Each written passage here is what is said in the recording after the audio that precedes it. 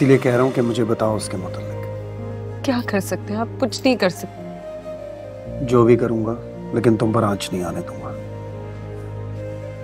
सचल तुम मेरा की बहन होने के नाते मुझे बहुत अज़ीज़ हो। इसके अलावा तुम मेरी बहुत प्यारी सी दोस्त भी हो। इसलिए कोई बहस कोई सवाल नहीं। जो पूछ रहा हूँ वो बताओ। आप मेरा से कुछ मत कहिएगा। उसको पता चलेगा तो वो नाराज़ हो जाएगी। किसी को कुछ पता नहीं चलेगा आई प्रॉमिस पहले जो हुआ, उसका किसी को इल्म हुआ। तो फिर कमान टेल मी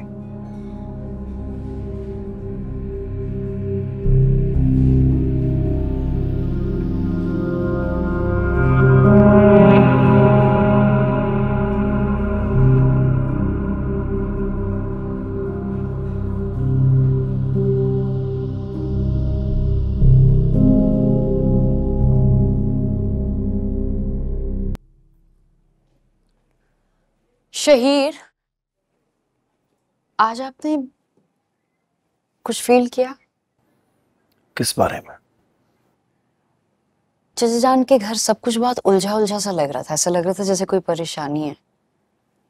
हालाँकि सजल वो इस तरह की लड़की नहीं है बहुत लाइवली है वो।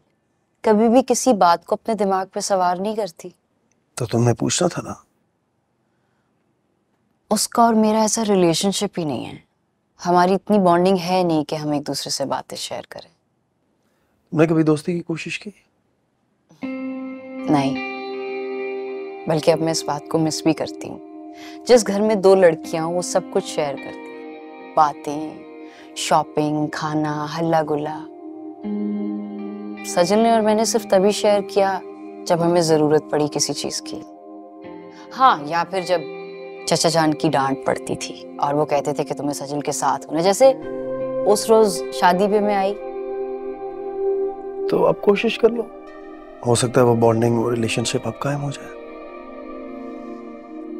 हाँ वैसे अब सब कुछ बहुत बदल चुका है। यहाँ तक के चची जान का रवैया भी। आपका स्टेटस जो बदल गया अब आप मिसेस शहीर अहमद है। तो उनका रवैया तो बदलना था। क्यों गलत कह रहा हूँ? आप जब भी बात करते हैं ऐसा लगता ही नहीं कुछ गलत कहेंगे। आप अपनी बातें इतनी सच्चाई से कहते हैं कि वो सच मानने को दिल करता है। और वो इसलिए क्योंकि आपकी मोहब्बत ने मुझे हमेशा फर्श से अर्श पे बिठाया इन नज़रों से मत देखा करो मुझे। फिदा होने को जी चाहता है। अच्छा तो फिर ये ले। आँखें बंद कर लेती हूँ। ऐसी सूरत में तो अपने हाथ से अपना गला घोंट देना बेहतर ऑप्शन है। ओह! कितने ड्रामे हैं ना।